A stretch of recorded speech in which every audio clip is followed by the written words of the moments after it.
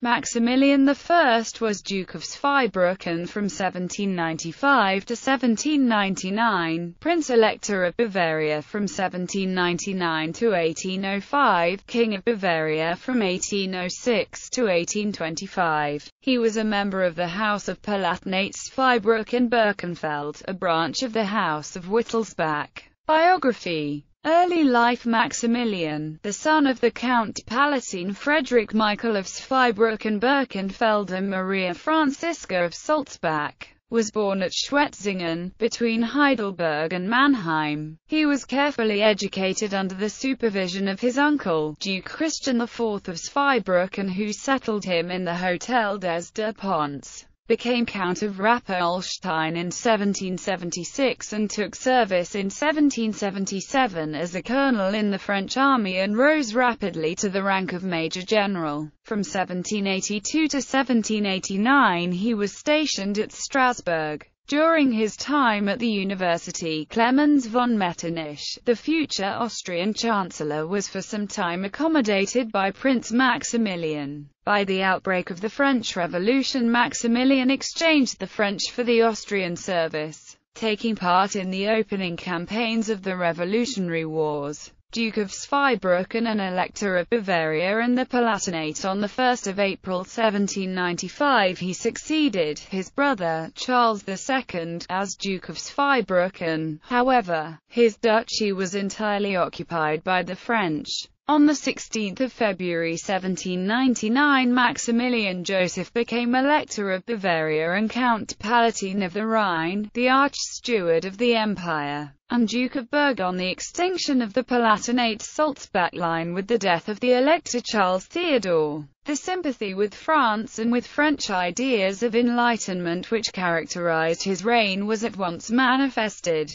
in the newly organized ministry Count Max Joseph von Montgelas who, after falling into disfavor with Charles Theodore, had acted for a time as Maximilian Joseph's private secretary, was the most potent influence, an influence wholly enlightened, and French. Agriculture and commerce were fostered, the laws were ameliorated, a new criminal code drawn up, taxes and imposts equalized without regard to traditional privileges while a number of religious houses were suppressed and their revenues used for educational and other useful purposes. He closed the University of Ingolstadt in May 1800 and moved it to Landshut. In foreign politics Maximilian Joseph's attitude was from the German point of view less commendable. With the growing sentiment of German nationality he had from first to last no sympathy, and his attitude throughout was dictated by wholly dynastic, or at least Bavarian, considerations. Until 1813 he was the most faithful of Napoleon's German allies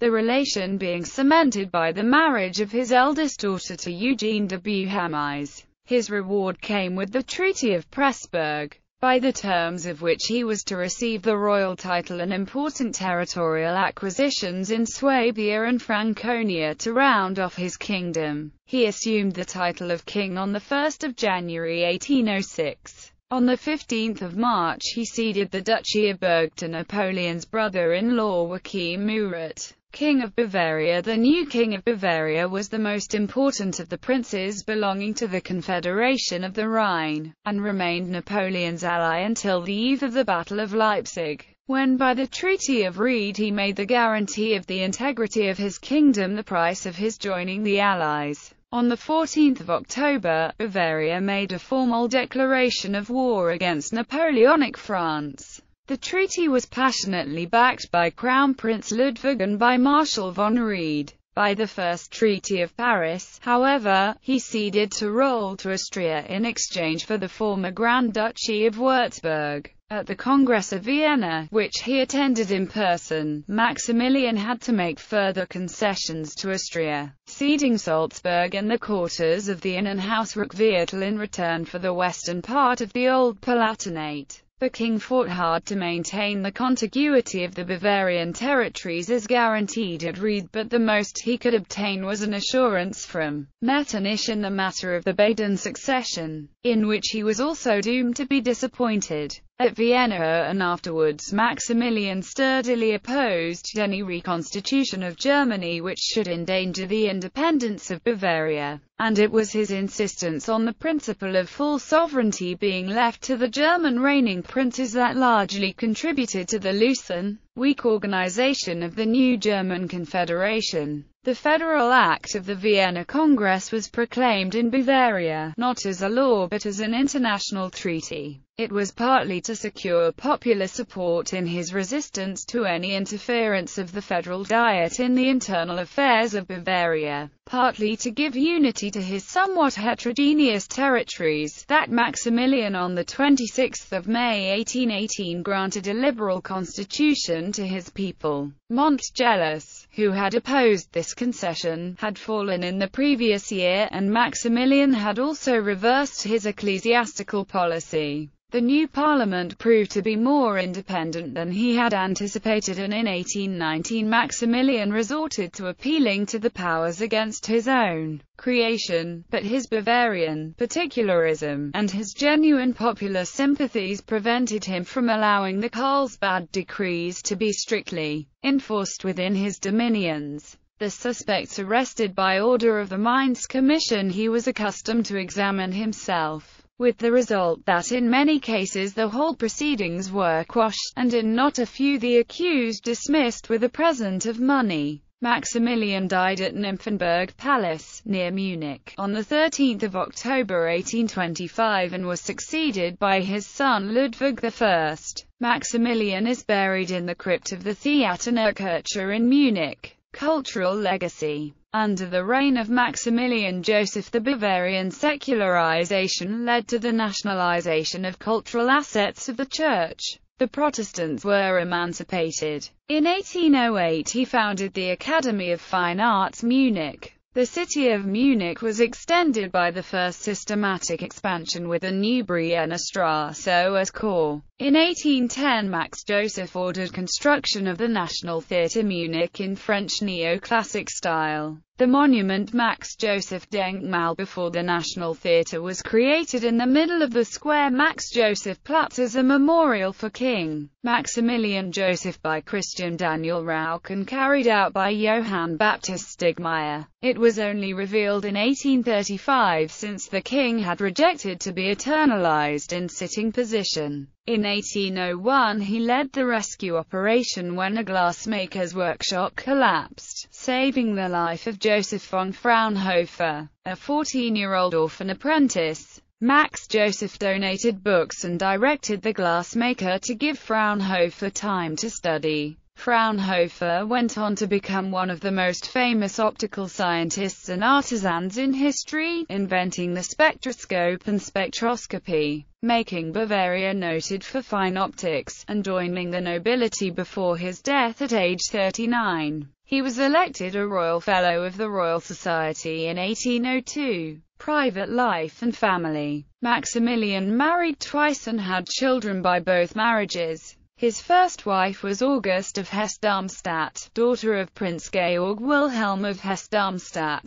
They were married on 30 September 1785 in Darmstadt. They had five children. Prince Ludwig married Therese of Saxe-Hildburghausen. Princess Augusta Amalia Ludovica married Eugene de Beauharnais, Duke of Leuchtenberg. Princess Amalia Marie Auguste died in infancy. Princess Caroline Augusta, married William I of Württemberg, and then Francis II of Austria. Prince Karl Theodor Maximilian. Maximilian's second wife was Caroline of Baden, daughter of Margrave Karl Ludwig of Baden. They were married on 9 March 1797 in Karlsruhe. They had eight children. Stillborn son, Prince Maximilian Joseph Karl Friedrich, died in infancy. Princess Elizabeth Ludovica, married Frederick William IV of Prussia. Princess Amalia August, married John I of Saxony. Princess Sophie Friederike Dorothy, married Archduke Franz Karl of Austria, mother of Franz Joseph I of Austria and Maximilian I of Mexico.